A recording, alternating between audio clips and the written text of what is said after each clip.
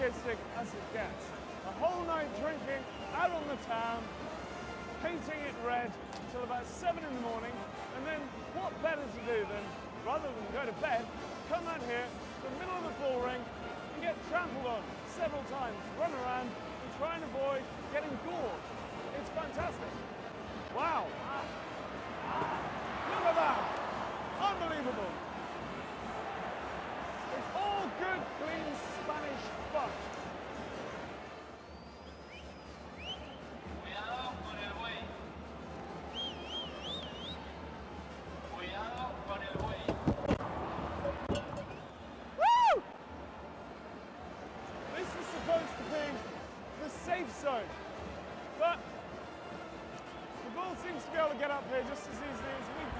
Whoa!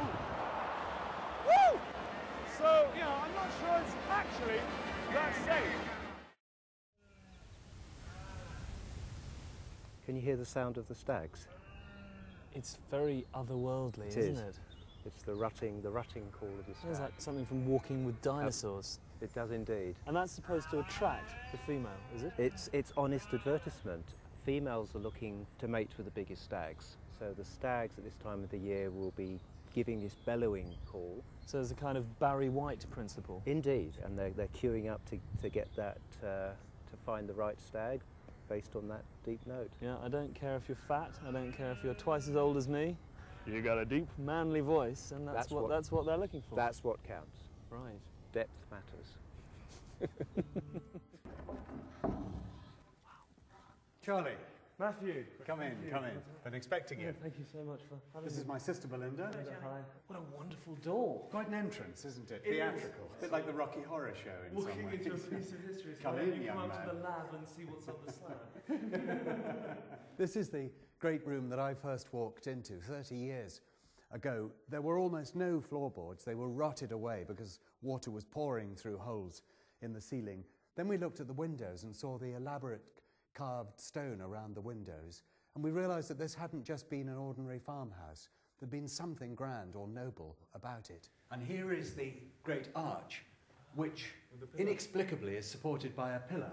Well, probably explicably, because we think it was the earthquake of 1425 that disturbed the arch, and the owners lost confidence in the arch and built this pillar to support it.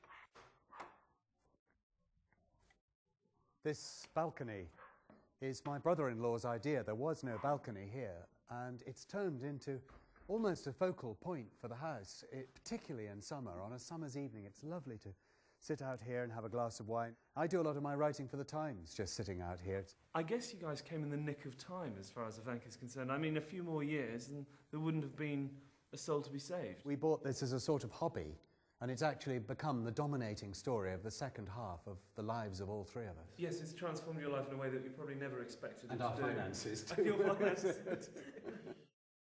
The three main references in Sanlúcar are the manzanilla, the king prawns, and the horse racing on the beach. Which, of course, you participate in. Of course, And I win. am. I am the oldest jockey in Spain.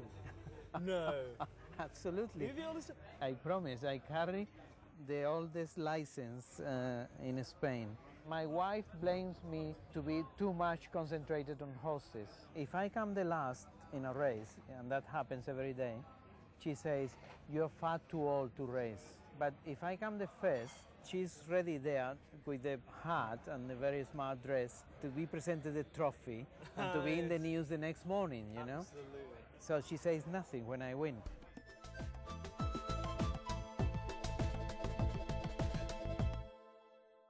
Arid coastal deserts and exotic tropical beaches via high plateaus and soaring peaks to the depths of the Amazon jungle, Peru is a land of myriad climates and cultural influences. Combine this with its rich history and ancient traditions, and you have the perfect environment for adventure and some of the world's most exotic cuisine. Steak and kidney pie.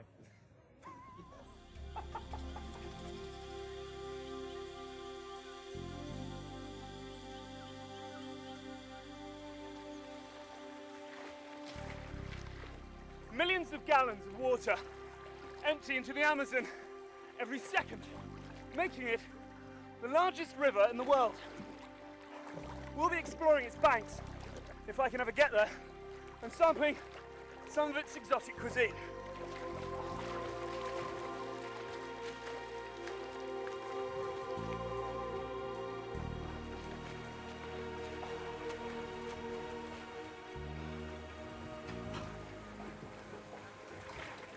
The Explorama is one of the more luxurious lodges on the banks of the Amazon.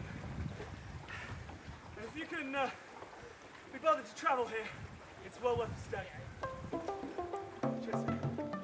Tell me about this project. We are working this project nine years. For a moment, there are 35 individuals that are, are domestic around, uh, that are moving around here. They're quite tame, aren't they? Yeah. Well, sorry, we got to explain it. While many of them disappear off into the treetops, a lot resist the call of the wild.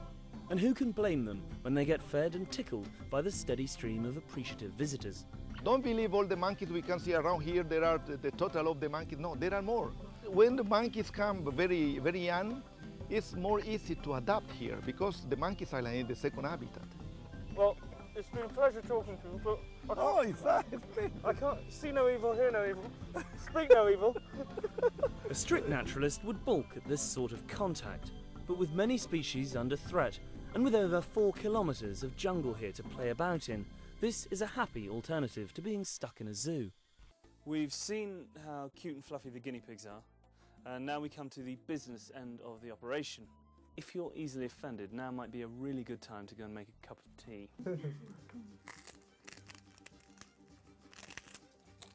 Do they eat the head as well? See. Could I have a bit of head? See?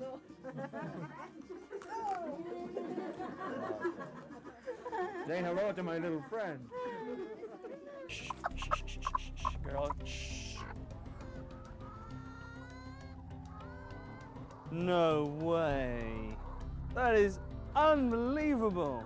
You are a chicken whisperer. no, man. Basically, you're hypnotizing them, aren't you? I, I don't know how it works. You just know that it works. Wake up, baby. And We'll put it back in. you'll forget everything you've just been told.